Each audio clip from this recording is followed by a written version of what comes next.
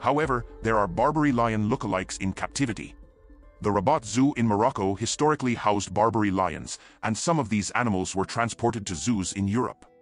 The Atlas Lion Project, initiated in the 1990s, aimed to reduce hybridization among the Barbary-like lions in captivity and eventually reintroduce them into the wild. However, due to political instability in the Barbary lion's former range, the project was put on hold and lost momentum in some participating zoos. Nonetheless, descendants of the Atlas Lion Project still exist today, resembling their majestic ancestors that once roamed North Africa. Thank you for joining us on this journey through the realms of nature. We hope you